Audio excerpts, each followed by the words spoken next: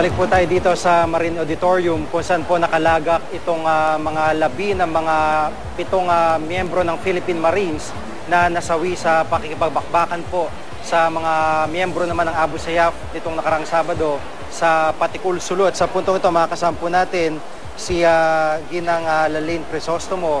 Siya po ang nanay ng isa sa mga nasawi na si ah, Private First Class Jason Durante. Magandang hapon po ma'am. Magandang hapon din po. Apo, nung nangyari po ba ito o bago nangyari po itong ah, ah, pangyari ito, nagkaroon po kayo ng pagkakataon na makausap po si Jason?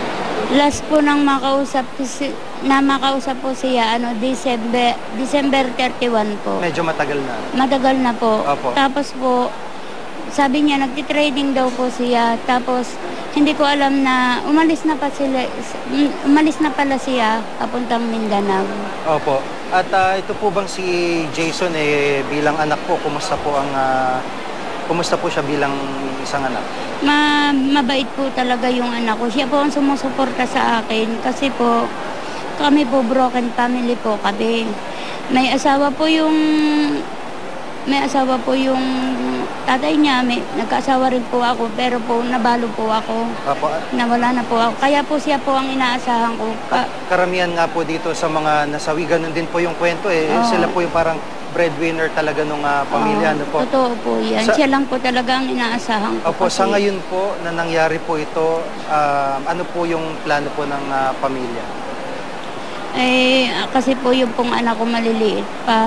Hingi lang po sana kami ng tulong kung paano ko mapapag-aral yung aking mga anak. Kasi Opo. maliit pa po sila. Opo. Meron ng mga dumalaw dito na matataas na opisyal. Ano po, meron po ba silang nabanggit na tulong o naipangako pong Meron tulong? po. Meron Opo. po. At ah, siguro yung, yung sa Marines po, meron pong benepisyo din po kayo na inaasahan. Meron po. Oho. Pero mas maganda sana kung tuloy-tuloy at ah, hanggang sa magtapos talaga itong mga bata. Opo. Sana po. Yun lang po ang inihiling ko kasi po talagang hirap na hirap kami sa buhay. Opo. Si Jason ho ba eh, may petsa na po ng libing at saan po ililibing?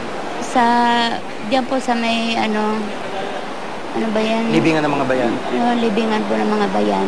Opo. At, ah, siguro panguling salita po, ano po yung ah, para po sa mga nakikinig, mga nanonood na mga ibang opisyal pa na maaari pong magpabot ng tulong, ano po yung naisip abot sa kanila? Sana po tulungan nila kami kasi po talagang walang-wala po kami kasi po yan po talagang inaasahan kong tulong sa anak ko kaso ganyan talaga ang nangyari sa kanila. Yun lang po. Maraming pong salamat, ah, Ma'am Lalene, at ah, nakikiramay po kami. Si ah, Mrs. Lalene Crisostomo po, ang nanay po ni ah, Private First Class ah, Jason Durante, na isa nga po sa mga nasawi dito sa engkwentro sa pagitan ng ah, Marines at Abu Sayyaf sa Patikul Sulu.